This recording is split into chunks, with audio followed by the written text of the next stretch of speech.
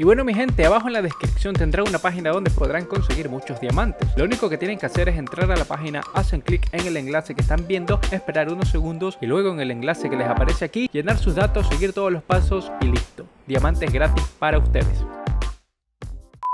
Hola qué tal amigos, ¿cómo están Bittercitos y Bittercracks? ¿Cómo me les va el día de hoy? En el video pasado hablamos de la nueva actualización de Garena y también de las cosas que hizo bien. Y es que viendo a detalle la actualización por el cuarto aniversario de Free Fire fue bastante grande. Y con eso llegaron nuevas implementaciones al juego, nuevos eventos y nuevas mejoras. Y como siempre he dicho y me gusta decir, el que Garena introduzca cosas nuevas a Free Fire ayuda a que la comunidad tenga una mejor experiencia en el juego. Pero, por otra parte, a Garena siempre se le ocurre implementar cosas que no eran importantes también, o simplemente tocar cosas que no eran necesarias de tocar. Y es por eso que para el video del día de hoy les traigo un top de 5 cosas que están de más dentro de Free Fire en la nueva actualización. Hola, ¿qué tal a todos? Soy el Jesus y les mando un gran saludo a la familia de Bitter Cracks. Un saludo para todos, espero que se encuentren bastante bien y que disfruten de este nuevo video del Crack Bitter.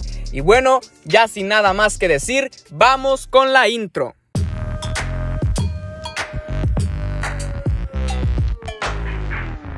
Ok, empezando con este top, tenemos una opción que la verdad creo que a nadie se le pasaba por la cabeza el que deban poner en Free Fire. Pero bueno, en la actualización de agosto por el cuarto aniversario, a Garena se le ocurre meter al juego una opción de arrastrar para correr. No le encuentro sentido al que hayan puesto esta opción, ya que a la actualidad y a los 4 años de existencia de Free Fire, todos nos hemos acostumbrado a que para correr tengamos que presionar el botón para correr obviamente. No le encuentro sentido que después de 4 años se les ocurra poner esta opción en el juego. Y que bueno, según Garena, esta opción dice lo siguiente.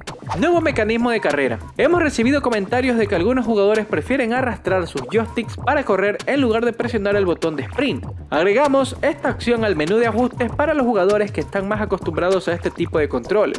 Ahora, si leemos esto y le prestamos atención, la idea de Garena es el poner esta opción para nuevos jugadores, ya que como muchos deben de saber, esta opción de arrastrar para correr la tienen juegos como Call of Duty, Mobile, entre otros. Y la idea principal de Garena es que Free Fire atraiga más jugadores de otros juegos y los adopte rápido a su jugabilidad. Es la única idea que se me viene por la cabeza como para que Garena haya tomado esta decisión. Porque siendo sincero, de los que están viendo mis videos, creo que nadie, absolutamente nadie, tiene activada esta nueva opción dentro del juego, ¿verdad? Y si alguien de ustedes la utiliza y me dice que es muy buena, déjenmelo saber en los comentarios, que igual le interesa.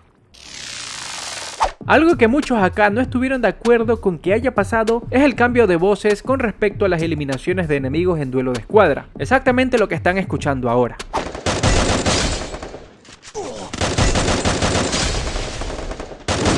Primera sangre. Asesinato doble. Asesinato triple. El que hayan cambiado las voces a los anuncios de bajas me parece algo innecesario, algo que no deberían haber hecho. Estábamos bastante bien con las voces anteriores, o sea, con las voces que están escuchando ahora.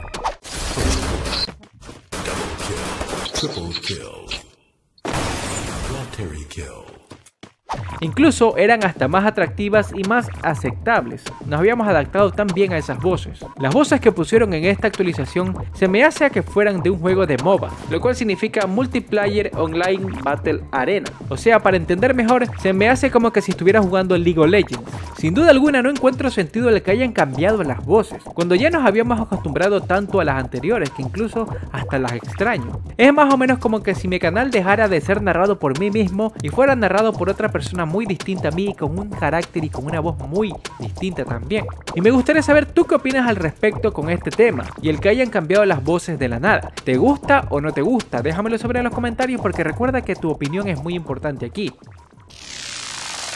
Esto que verán a continuación es otra cosa que no tiene sentido alguno, y es el hecho de que ahora puedes mostrar tus mochilas en duelo de escuadras, o sea en las partidas. Lo gracioso aquí es que nadie lo pidió, tal vez decidieron introducir esto debido a que la opción de mostrar la mochila en el lobby en aquellos tiempos fue el éxito completo y emocionó a la comunidad la primera vez que salió, o sea la primera vez que tú podías equiparte tu mochila en el lobby y la primera vez que tú podías equiparte tu mochila en la sala de espera antes de iniciar una partida. Para la comunidad fue un éxito completo, así que ahora me imagino que decidieron hacer lo siguiente y mejor dicho lo hicieron. Pantalla de mochilas, ahora disponible. Ustedes lo piden, nosotros lo traemos. Los jugadores ahora pueden mostrar sus mochilas en duelo de escuadra desde su colección. Lo que me da un poco de gracia es leer que en la página oficial de Garena dice, ustedes lo piden y nosotros lo traemos. Pero poniéndome a pensar, ¿quién pidió que podamos mostrar las mochilas en duelo de escuadra? Que yo sepa, nadie de la comunidad de la TAN lo pidió, ¿verdad? Que yo sepa, lo que nosotros hemos pedido es que arreglen el bug de las ventanas, pongan un espacio de habilidad extra para mascotas y bueno, muchas cosas más que aparecen en los videos de cosas que Garena debería de hacer. No el mostrar una mochila en duelo de escuadras, eso es algo que a nadie se le pasaría por la cabeza. Creo que sería la última opción. En vez de poner mochilas hubieran arreglado el bug de las ventanas que para mí es bastante molestoso cuando ocurre en duelo de escuadras, la verdad. No sé qué opinan al respecto, pero por mi parte eso de mostrar las mochilas en duelo de escuadras está de más. Nadie lo pidió de verdad. Pero por otra parte es verdad que la mochila en duelo de escuadras se puede desequipar, hay una acción para que no se pueda mostrar. Pero la idea de este video es mostrar las cosas que Garena hizo de más en esta actualización, pudiendo hacer mejores cosas decidieron poner eso.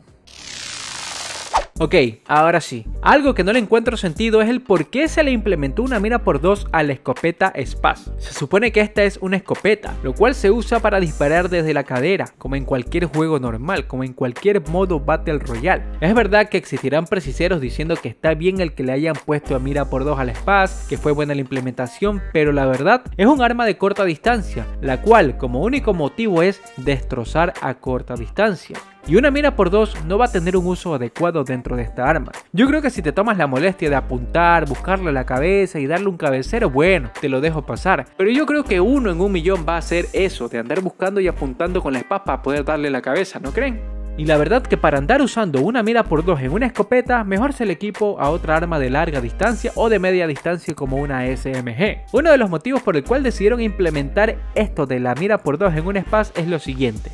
SPAS 12. Ajuste de estadísticas de armas. La SPAS 12 es sin duda una de las escopetas más débiles del juego en este momento. Le dimos más espacios de accesorios en este parche para asegurarnos de que se pueda hacer más viable en más situaciones. Se ha añadido el espacio de boca de fuego y mira, rango más 15%. Bueno, la arreglaron por una parte pero le pusieron algo que está absolutamente de más. Así que viéndolo de esta forma deseo saber qué opinas tú al respecto. ¿El haber implementado una mira por dos al SPAS tiene sentido alguno para ti o no? Te estaré leyendo aquí en los comentarios. Porque por mi parte me parece un desperdicio de accesorio ya que lo primero que hago al tener un SPAS en la mano es dejarla presionada y disparar a como pinte. Con tal de bajarme un enemigo, no tengo ningún problema estar disparando desde la cadera y no estar buscándole la cabeza hasta pegarle un cabecero, no, porque esa mira no la uso ni para ir al baño.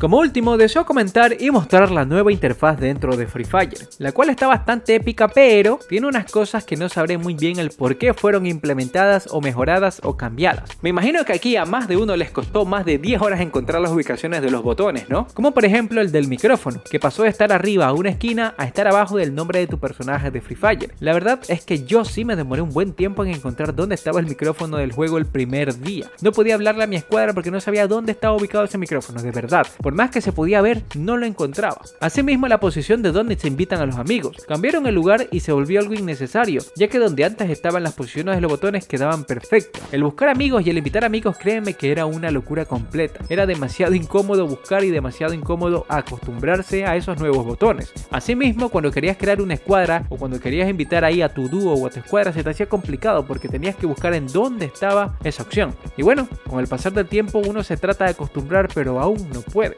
Porque aunque ya hayan pasado algunos días desde la actualización, algunos no nos acostumbramos a la nueva interfaz de botones y de pantalla dentro de Free Fire. Hubiera sido interesante que dejen los botones como estaban y nada más les hubieran cambiado el diseño, digo yo. ¿Cuántos de ustedes aquí creen que el cambio de botones y el cambio de ubicación de los botones es más o menos parecido a otros juegos que ya conocemos de Battle Royale? No lo sé, es mi forma de pensar y es lo que yo creo.